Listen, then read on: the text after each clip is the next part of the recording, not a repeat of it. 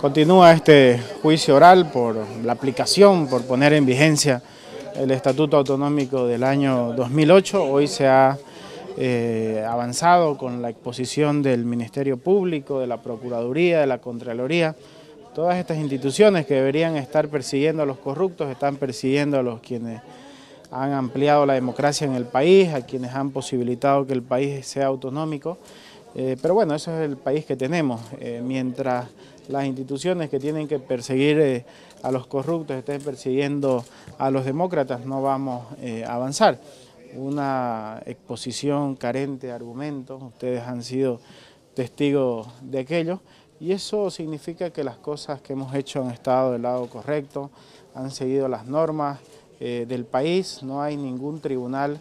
en Bolivia que haya declarado nula, inconstitucional o ilegal la consulta del referéndum ni el estatuto. Por el contrario, el estatuto se ha constitucionalizado, pero pese a que se ha constitucionalizado y nunca ha habido ninguna resolución en contrario de la consulta del referéndum, hoy se nos juzga por aplicar y cumplir el mandato popular. Eh, se ha señalado una nueva audiencia para el 27 de febrero y como siempre, vamos a estar aquí presentes para exponer, ahí va,